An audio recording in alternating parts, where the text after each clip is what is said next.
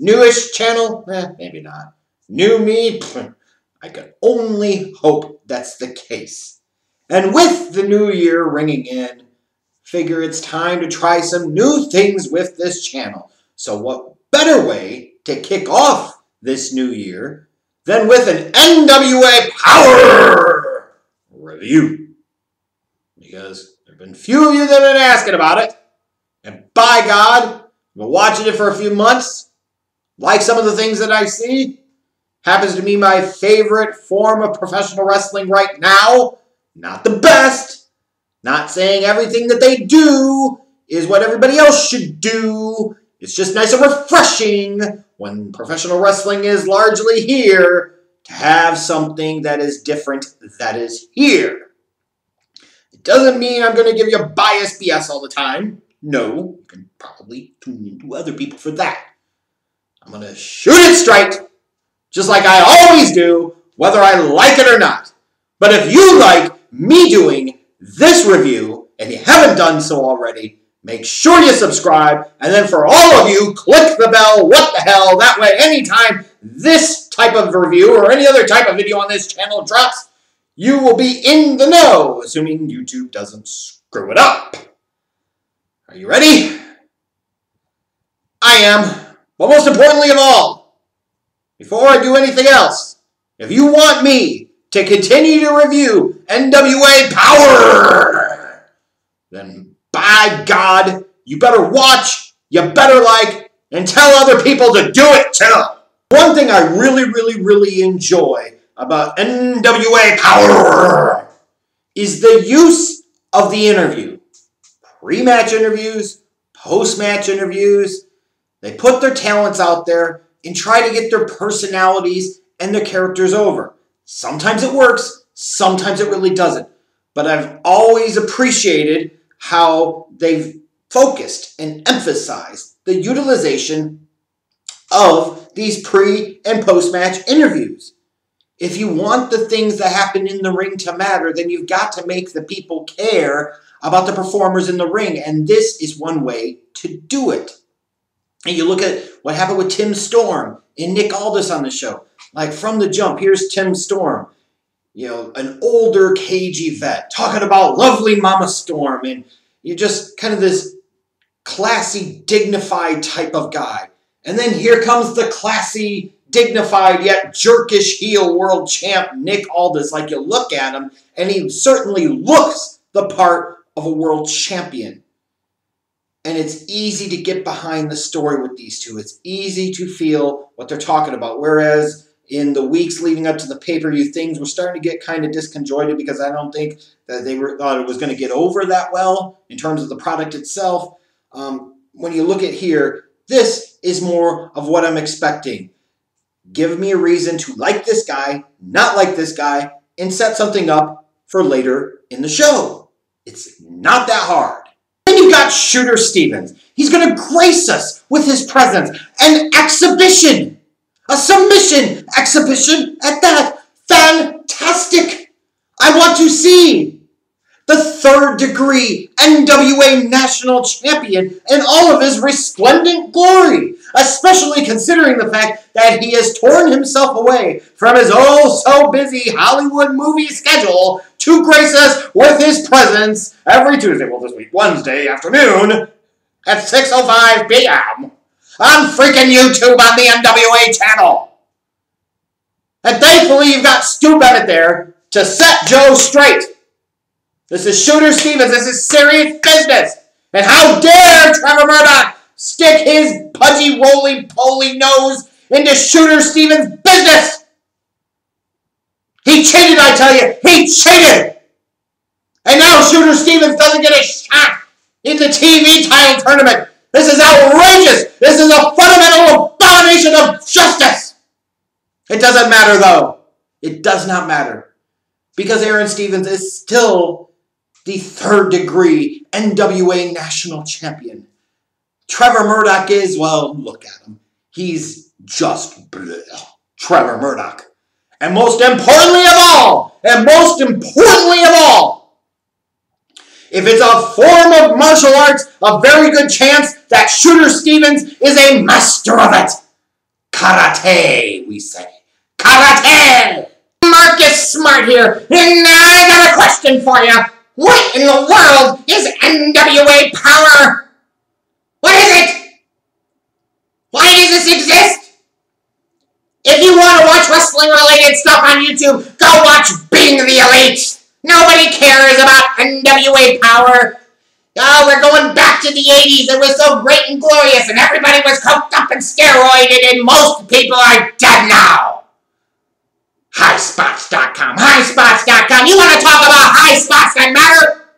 Go and watch every Wednesday night on TNT at 8 p.m. Eastern, all Elite Wrestling. They've got Cody, they've got Kenny Omega, they've got the Young Bucks, they've got the best motherfucking professional wrestling in the world. And most importantly of all, most importantly of all, starting this week here on this channel, the weekly AEW Dynamite Review gets a little smarter. I just made that up because I'm Marcus Smart and that's funny. It's funny!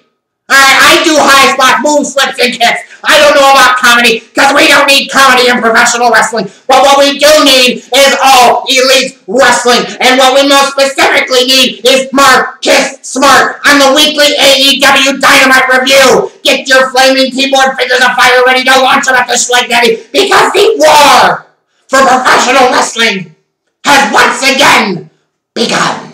Get something straight. The Pope the Pope, the God blessed Pope, D'Angelo Dinero, is pimping all over NWA, and none of you thought that this was an important enough detail to bother to share with me because I took a week or two off from watching NWA Power, and that's is how everybody repays me.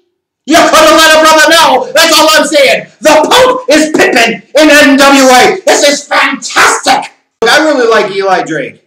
He's got a decent look, he's got personality, and he can cut a damn promo. He's really good in an interview, specifically like a couple of the other guys, like Aron Stevens. Excuse me, excuse me! Shooter Stevens! Really good in that close, kind of intimate uh, interview setting that they have at the TV studio. That said, I'd really like to see them actually find something meaningful to do with Eli Drake. Because on the one hand, it's cool and all that he comes out, it seems like almost every week and cuts some type of promo. But I don't know who he's supposed to be. I don't really know what he's supposed to be about.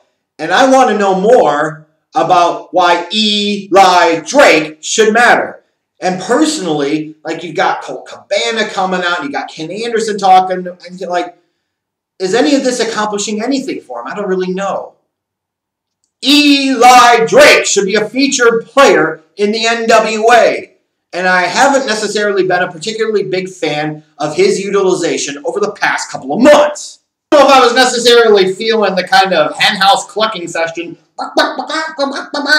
you had freaking Allysin Kay and the baby faces, and you had Marti Belle and the heels, and they're griping and complaining about friendships and everything else, and all this other estrogen treachery and garbage. Just kiss it out already! Well, we did get a ladies' match here.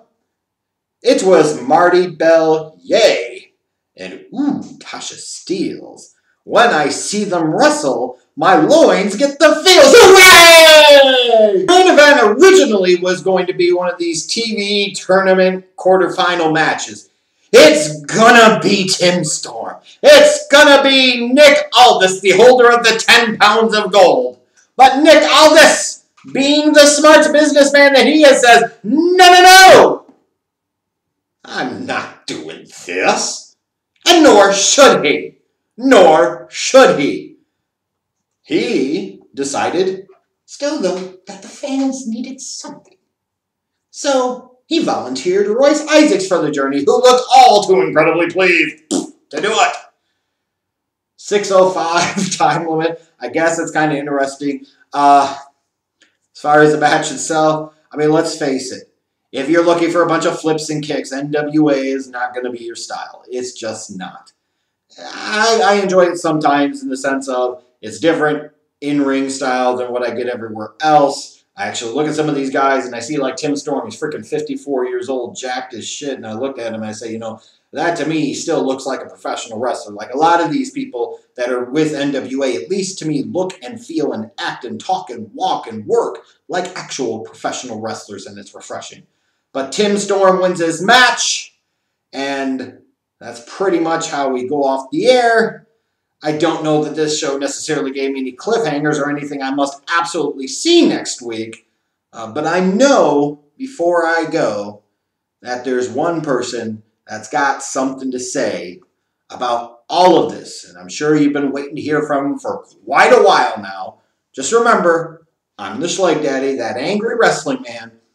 This is OTRS Central. Not the wrestling show you want, just the wrestling show you need. And because of reasons like this gentleman. Hello, boys and girls, ladies and gentlemen. Woo! It's been too long in a day, but that's right. I'm back. The Dick Storm Baby! Adam Cole. We gonna talk about gimmick infringement later. I know some of you've been wondering where I've been all this time. Well, just took some time away from professional wrestling. But it feels like, it feels like the moment is here, the moment is now, and the moment is right. I'm back to talk about my man, my fan, the cowboy James Storm. Now, of course, leave it to me to watch NWA Power this week. And there's no cowboy James Storm. They give me Tim Storm from that side of the family we don't claim with his bucket head and stuff. But what we want, what we need, is the cowboy James Storm. Now that's a man. That's a man's man. He can drink beer from a can and knock you out, wrestler and fan alike. That's a hero. That's somebody to build your company around. And I don't care who it is. Shooter, Aron Stevens, Tim Storm, Colt Cabana, Ken Anderson, or even the man that holds 10 pounds of gold, the world's champion, Nick Aldis. All I'm going to tell you is this. Come 2020, the Dick Storm is back, which makes James Storm deadly. Dick Storm is here. That means the cowboy you should fear. I'm back to spit my truth from my one-eyed monster of justice. All you ladies settle down. You'll get to see plenty of good old Dick Storm every week. Woo! The cowboy is in the NWA.